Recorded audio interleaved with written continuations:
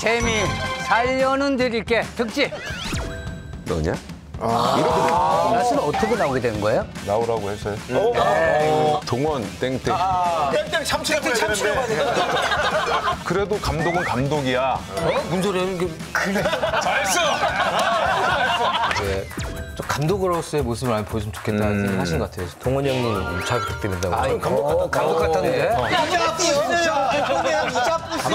감독이었다가 박성광이었다가 왔다 갔다 왔다 갔다. 그 부담감 때문에 아 드디어 오늘 왔구나 그래서 믿어지지 아니 믿어 하던 얘기는 아니었는데.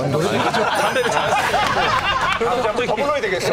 다음 주에 한번 더 불러야 되겠어. 감독님 영화 에 뭐 출연하신 것도 아니고 어떻게? 이경 대신 왔다는 거. 알았으면 알았을 더. 먼저 왔죠. 응만을 낙사구나 할수 이 소설자인데. 저도 이랬었나요? 개그맨. 어떻게 얘기해도 되나? 본인 야, 해주세요. 영화 영성 챙기시는구나. 아니 근데 최근에 그